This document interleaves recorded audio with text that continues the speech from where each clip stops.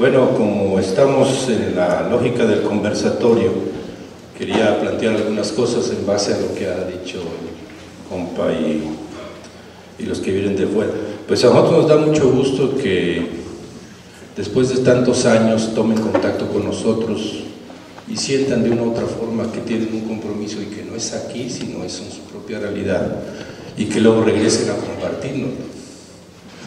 Este, porque ha venido aquí mucha gente que se va y luego se hace contra.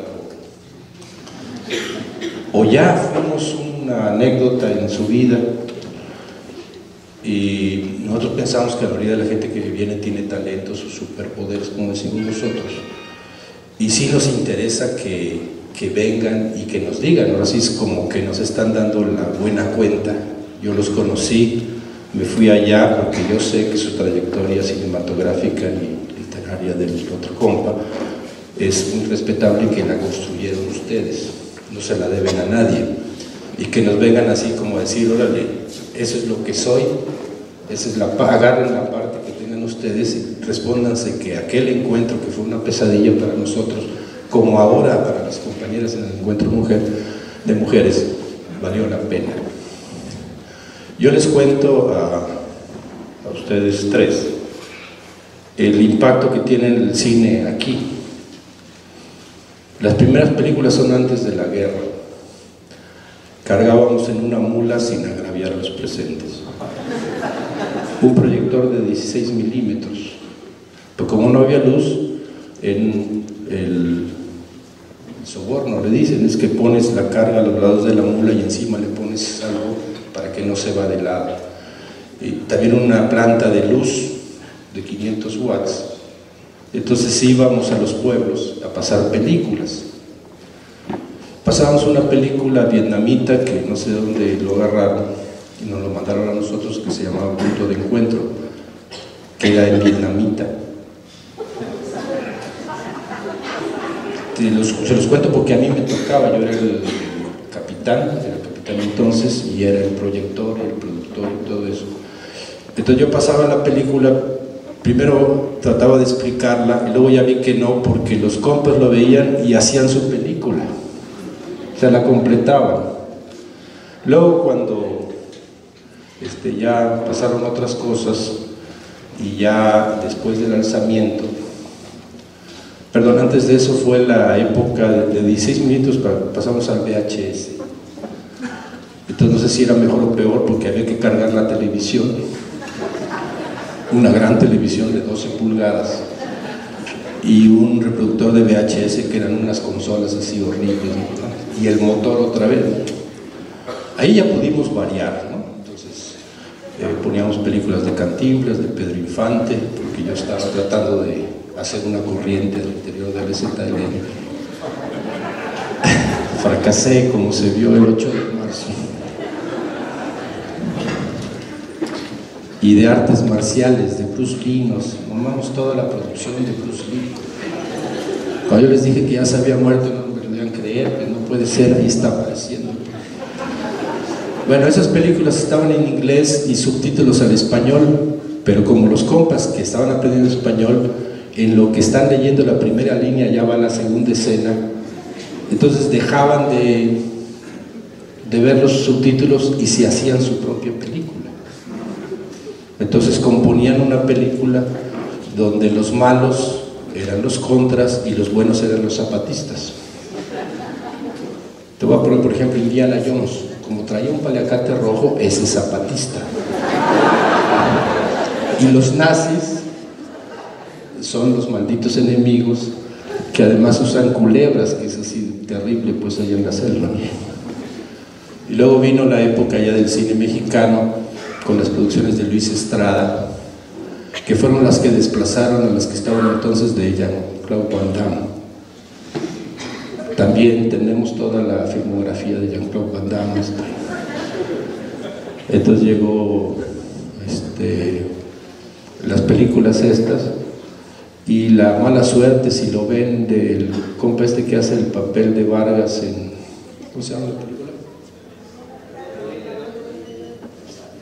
¿Perdón? No, la primera. La ley de Herodes, la ley de Herodes. Pues ese compa ya en cualquier película que aparezca es Vargas. No, importa qué, qué, papel para los compas, dicen, no, pues es que sale el Vargas, ya no importa que le ganó el personaje, entonces ya cualquier producción que haga, salga de narco, de lo que sea, es Vargas. Entonces empezó a producir todo eso. Luego llegó la época donde los compas empezaron a apropiarse de las cámaras y de todo eso que representa. Pero a lo más que hemos llegado es a video. Apenas están entrando algunos compañeros y compañeras, sobre todo en el lado de la garrucha, a hacer video documental. Hicieron uno donde comparaban la vida en una familia zapatista y la vida en una familia partidista, a ver qué pasaba en una y otra. Pero siempre está la tentación no de venir a hacer cine sobre nosotros, sino venir a hacer cine con nosotros y que lleguemos en la probabilidad que haga la bruja escarlata cambiar, a hacer nuestras propias películas. Porque el cine tiene un poder muy caro. Eh, igual como dijo ella, que dice que lo completa el espectador, y por eso les cuento eso de que hacían otra película, porque como no entendían de qué se trataba, entonces inventaban la historia y acomodaban. Créeme que los argumentos que hacían eran mucho mejor que el original. Entonces ojalá que, que llegue ese día que alguna generación de ustedes salga y diga, bueno, vamos, pero no hacer una película sobre ellos, que hay varias, sino hacer una película con ellos, para que luego llegue el día, gracias a la bruja escalata, que se presenta la posibilidad de que ellos les presenten a ustedes una película hecha por, por zapatistas. Y al compa escritor, pues es bienvenido para estar aquí. No los seis años de África, si quiere pasarse 60 será bienvenido. Porque a nosotros nos hace mucho bien la mirada del otro. Para los compañeros, desde el principio, digamos en la época a la que te refieres tú, del encuentro intercontinental, eh, dejó de haber los nacionales y los extranjeros, sino son los compas zapatistas, los compas de la ciudad y los compas internacionales. No hay referencia al color o, al idioma, nada más que viene de otro país. Y créeme, le digo al, compa escritor, que, que si hay un lugar cosmopolita es la tierra zapatista.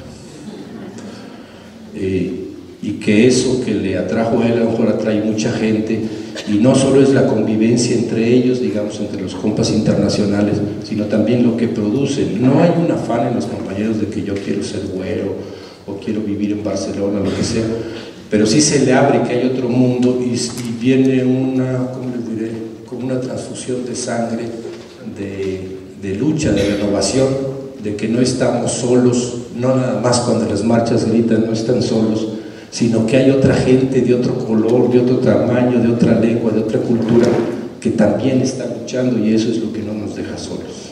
Entonces, es la primera vez que hacemos esto, que viene alguien a, presentar una película. Ojalá algún día podemos hacer un festival de, cine.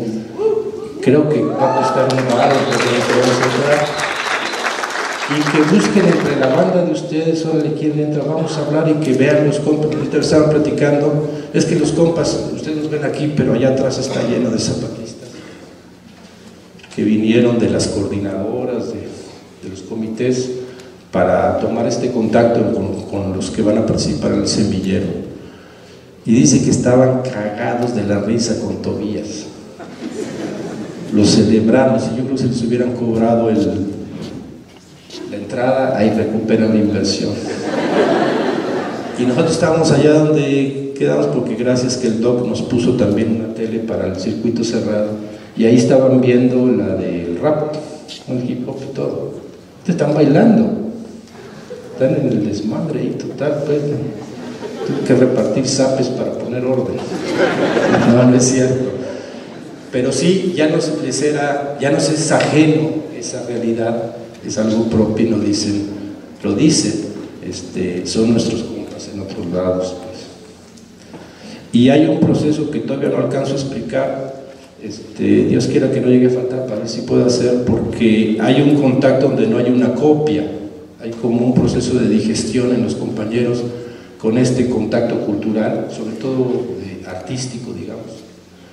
Y entonces que producen cosas donde es este, el hip hop zap, algo así, ¿no? O el rock zap, o el son zap, que es, está todo revuelto. Porque todavía estamos en la etapa de que son toneladas de otras canciones y nomás le cambian la letra. Pero digamos que esa generación está pasando y está entrando en la nueva generación, la de los jóvenes y los jóvenes, y luego la de los niños como defensa y esperanza, donde ya están buscando su propia tonelada. Es horrible.